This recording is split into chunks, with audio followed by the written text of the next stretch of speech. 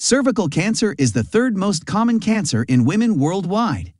It is caused by high-risk human papillomavirus and is one of the leading causes of cancer-related death in developing countries. In developed countries, however, it is relatively uncommon due to the availability of screening programs. Cervical cancer is one of the most preventable cancers worldwide. Prevention of cervical cancer can be divided into primary prevention and secondary prevention. Primary prevention is aimed at preventing getting infected by human papillomavirus.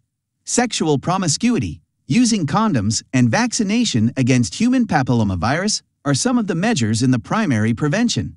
Secondary prevention includes screening programs to identify premalignant or early stages of the cancer.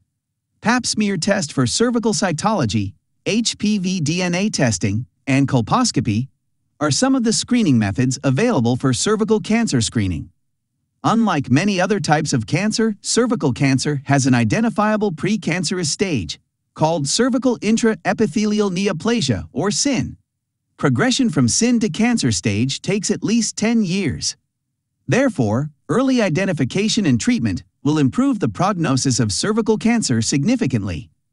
Papanicolaou, or PAP test, has a higher specificity for cervical cancer, but a low sensitivity. It was invented by the Greek physician George Papanikolaou in 1928. However, its efficacy was proven by the year 1941 the onset and frequency of doing pap test varies in different countries. For example, in the United States, it is commenced when the woman is 21 years of age. In the United Kingdom, it is started when the woman is 25 years of age. And in developing countries, it is started after the age of 30. Women who have received HPV vaccine should also undergo pap smear at the appropriate age. High-risk women should be screened annually for cervical cancer, including women with HIV infection, women on long-term steroid therapy and organ transplants, and women with autoimmune diseases such as systemic lupus erythematosus. PAP test involves collection of exfoliated cells from the cervix, more specifically, from the transformational zone, and examination under the microscope. The presence of koilocytes on examination is the hallmark of HPV infection. After examining the cells, the pathologist gives a comment on the histology of the transformational zone.